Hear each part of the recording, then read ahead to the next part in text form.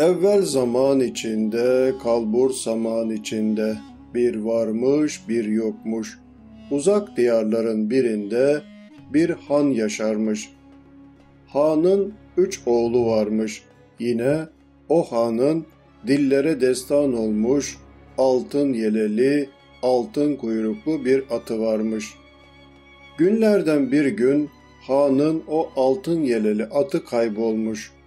Han da üç oğlu da o güzel atı aramaya gitmişler. Çok aramışlar, çok taramışlar. Dağları aramışlar, tepeleri aramışlar, düzleri aramışlar, ovaları aramışlar ama atlarını bulamadan geri dönüp gelirlerken vahşi atların sürüsünden bir tay bulmuşlar. Onu da yanlarına alıp köylerine gelmişler. Hanın oğulları tayı büyük bir ahıra yerleştirip ona uzun zaman yetecek kadar yem ve su bırakmışlar. Biz gelene kadar ahırın kapısını açmayın deyip kaybolan altın yeleli atlarını aramaya gitmişler. O sıralarda hanın karısı hamileymiş. Kısa bir süre sonra han dermansız bir hastalığa yakalanıp ölmüş. Han öldükten sonra karısı bir erkek çocuk dünyaya getirmiş. Adını Muhammed koymuşlar. Oğlancık bir ayda bir yıl geçmiş gibi büyüyormuş. Böylece küçücük çocuk çok çabuk büyümüş. Komşuları olan yaşlı kadının küçük bir oğlu varmış. Bir gün Muhammed ile o oğlan oynarken dövüşmüşler. Oğlan da anasına gidip Muhammed beni dövdü diye yakınmış.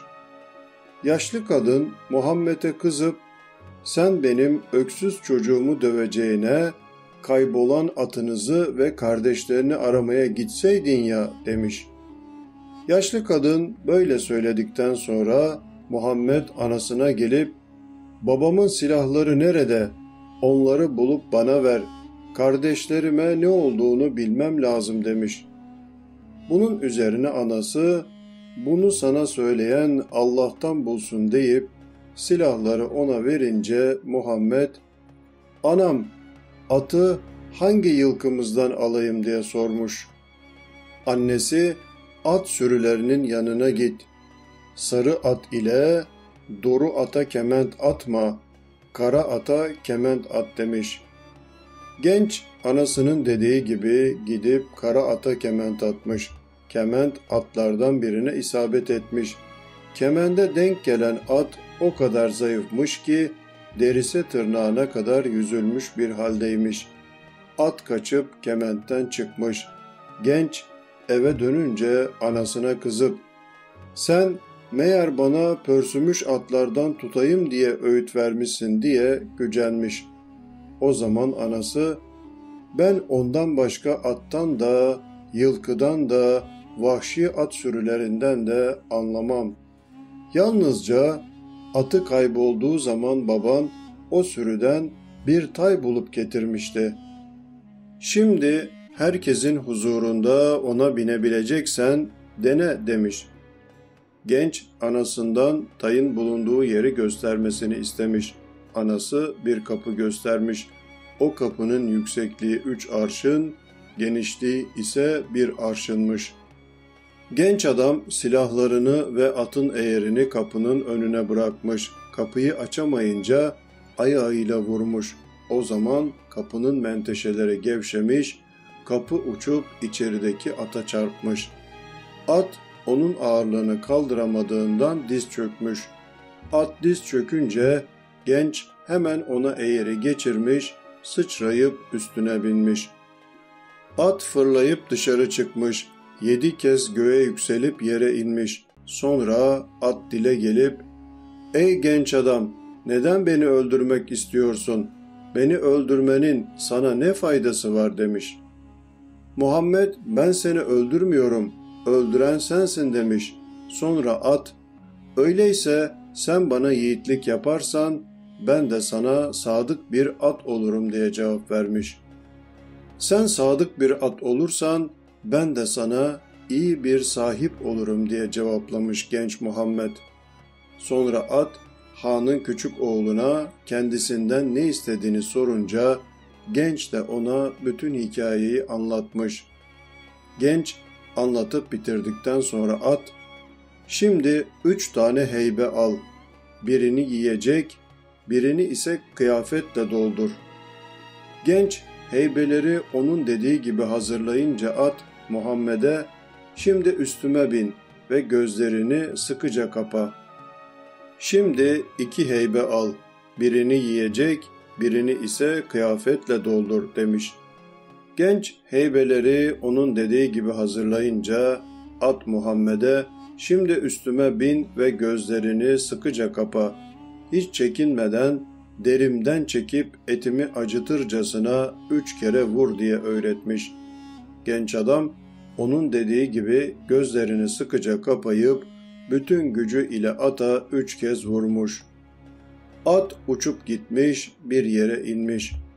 Genç adam gözlerini açıp etrafına bakınca at, bir şey görüyor musun diye sormuş. Hiçbir şey görmüyorum demiş genç. At, o zaman deminki gibi gözlerini sıkıca kapa ve bana yine kamçıyla üç kere vur demiş.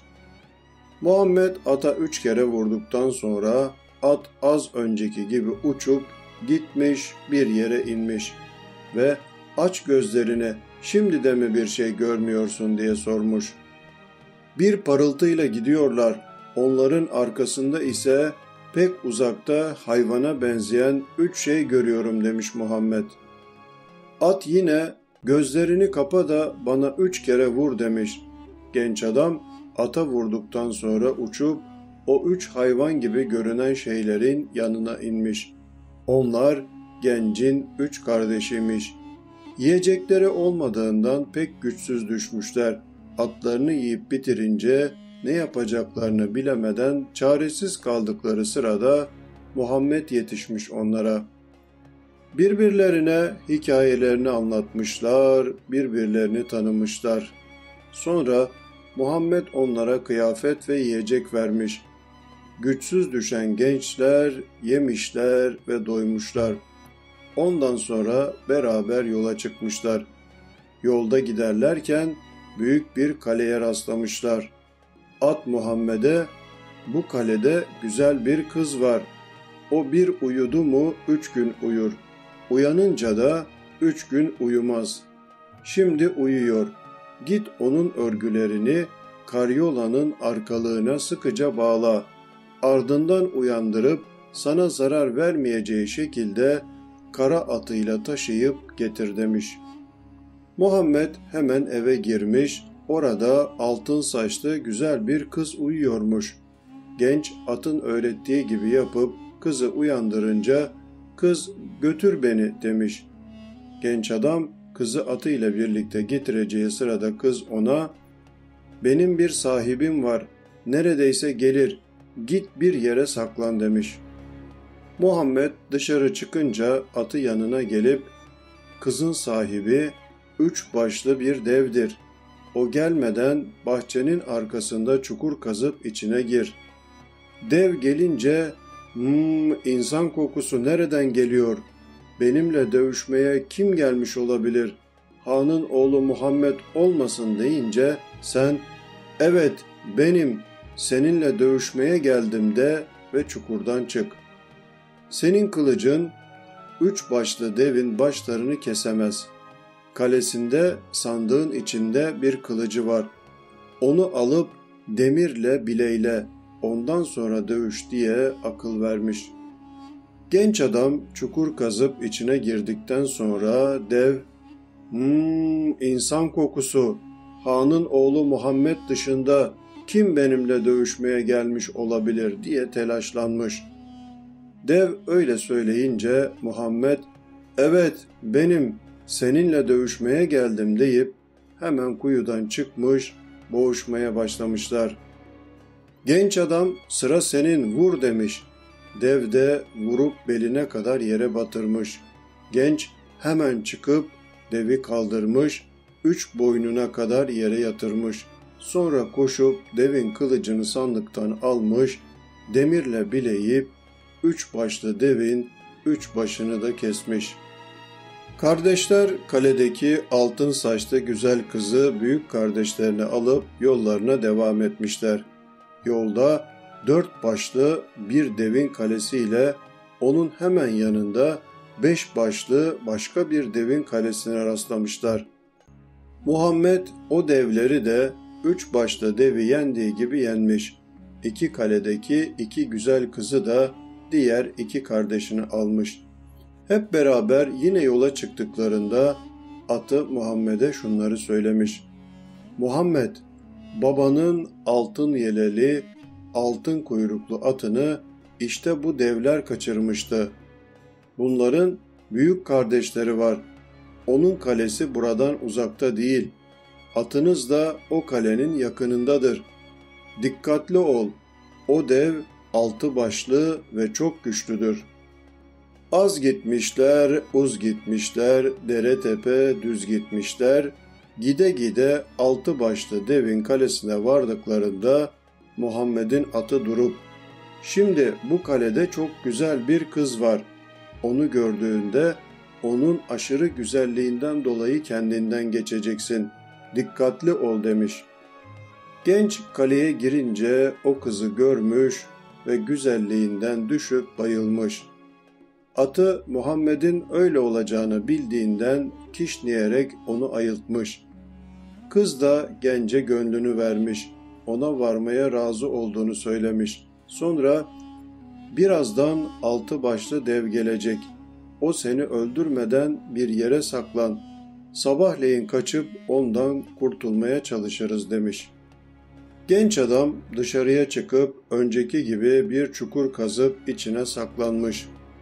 Dev geldiğinde ise oradan çıkıp onunla dövüşmüş. Altı başlı devi altı boynuna kadar yere gömmüş. Ardından onun sandığındaki kılıcı alıp altı başını da kesmiş. Muhammed altı başlı devi öldürdükten sonra atı ona şöyle demiş. Gel şimdi babanın altın yeleli atını sürmeye gidelim. Gide gide bir adada vahşi at sürülerinin olduğunu görmüşler. Adaya yaklaşınca at genç adama şimdi bir plan yapalım. Yoksa o sürüde beni yenemeyecek at yoktur demiş. Planımız şudur. Sen hemen bir çukur kaz, çukurda bir tümsek yap. Onun üstüne atın eğerini koy.'' ben de gidip at sürüsüne bakayım demiş. Genç atın dediği gibi yapıp çukurdaki tümsekte saklanmış. Atı da sürünün yanına giderek kişneyip kaçmış. Sürünün erkek atı onu kovalarken çukura düşmüş. Genç de eğeri hemen ata geçirip üstüne binmiş.